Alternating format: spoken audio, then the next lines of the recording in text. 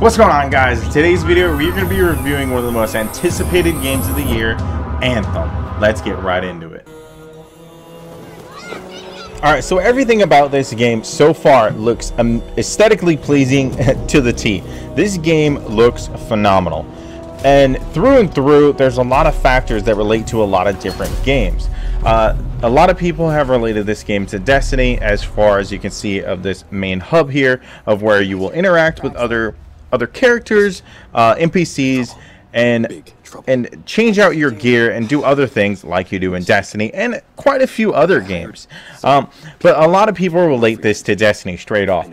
But the graphics and the facial uh, features as far as their expressions and everything are on point um, I, I couldn't find anything negative about it it's made for the original bioware team that made mass effect 1 through 3 not andromeda where they dropped the ball that was made by bioware montreal um, they dropped the ball. Uh, facial features, facial uh, everything were, was just off. Whether it be eyes and emotions, uh, etc., was just off. And it looks like that they've completely nailed it with this game set.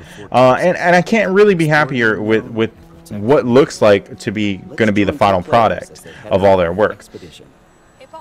All right, so this is set in uh, what looks like a, a, a similar, you know, post-apocalyptic type world or futuristic type world. Um, and and this world is just it looks phenomenal um, as you'll see here in just a moment but these suits that you get in are, are probably one of the coolest things um, you know since first experiencing Iron Man. Uh, there are extraordinarily large amount of similarities to Iron Man. These exosuits are called Javelins, and like Iron Man, the one you're currently in, the Ranger, is more of a multi-use exosuit where it does a lot of things, and I'm, I'm sensing that it's going to be functioning on speed, equipment, etc. Um, you're looking at, and then your partner that jumped in is in a Colossus. If you remember Iron Man as well, um, the giant Iron Man suit, the uh, thicker, wider one um, that I'll have up on the screen if you remember that. If not, it's right there on the screen for you to see. And and the similarities of yeah, it, it couldn't move as fast as the original Iron Man, but it was bulkier, it was stronger, and it could take a lot more damage. And I can see a lot of similarities like that playing out in this game. Uh, so far, there's no PvP that is going to happen in this game, which is kind of a good thing because it gives them a chance to focus on the core values of what the game is going to be, the story, and uh, how they want to make it in the future. And, and I can appreciate that side of what this game has to offer. Uh, I thought it was kind of funny when they had this uh, interaction interaction with this guy. Is that they uh, they said we're gonna save him for later. We don't want to use all our ammo. Uh, and when you see later, their ammo it looks pretty pretty hefty. I mean, they have some hard-hitting weapons. Um, but I thought that was cool because that looked amazing. All right, so this hands down is by far one of the coolest things of this game. Um, so far, I, I cannot name a game where you are flying through the sky and then you can dive through water and go through like water in its caverns. Um, it, it, it, just looked so amazing, so beautiful to see uh, that kind of change. So often nowadays with games, we have this issue to where you, you immediately label water as an off-limit zone, right? So you, you, you see water and you know that that's gonna kill me. I Destiny, water land off the map kills you. Um, Halo, water kills you. The dude can fly from fucking space and hit the ground and live, but water kills him. So, you, you know, this game didn't do that. It, it made, hey, these are badass exosuits. They're really multi-use. They're meant um, for survivability, and they're meant to just do more than just one thing. And I think that that's really remarkable. It's not just something to get you around that flies. It's something that you could use to to um, get through the water, to get through areas, to jump, and to protect you. Uh, I thought this interaction was particularly cool because you get to really see the show of force of uh, weaponry that you're gonna have in this game. Um, if you played Destiny, bring that up. If you play Destiny and you remember Valus Ta'aurc, he has a weapon salvo um, or a missile salvo that fires at you multiple times, and it's shit compared to that mortar blast. Um, and and that is, something special that you can see in this game. When when they uh, have their power weapon and, and they initiate it, it's a power weapon. And they let you know it full and full. That missile salvo is fucking epic. And look at the explosions. Look how clean and crisp they are.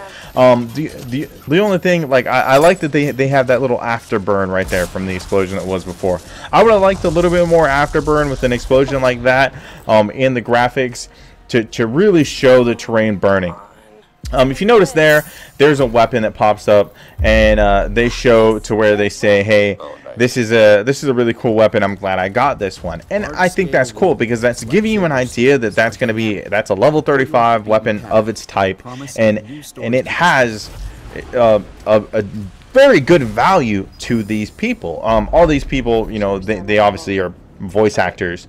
Um, showing off the game, but you could tell that they're putting it in there for a reason. That you're gonna get loot that that is varies greatly in value, um, such as Division and other games where, where it's loot-based games.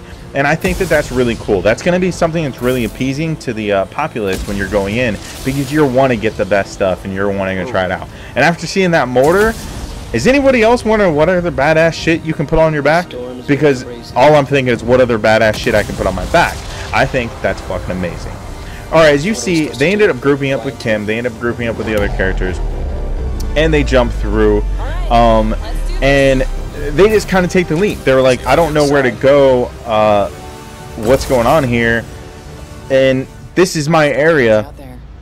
Yeah, let's jump through the giant swirly storm let's do that and figure it out from there and I, I, I think that's amazing like just being able to to do like they did earlier do you want to go over there hey we'll go over there earlier um or we'll go over there later that's amazing having that free roaming uh, possibility to, to do what you want in an open world it, it means a lot um, in today's world where a lot of games now are so linear based that they take away that exploration value and that that free roaming nature that just allows you to kind of play as you want to play.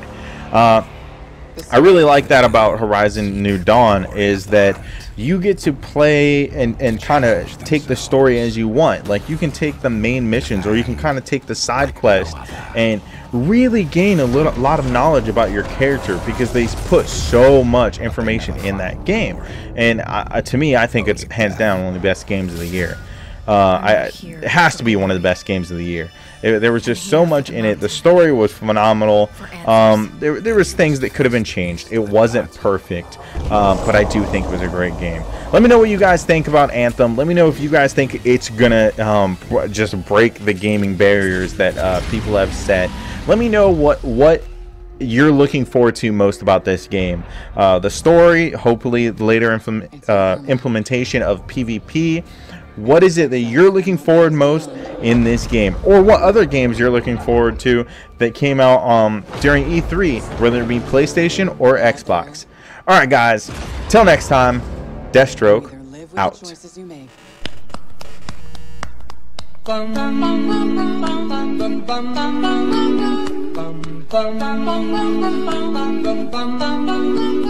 Mr. Sandman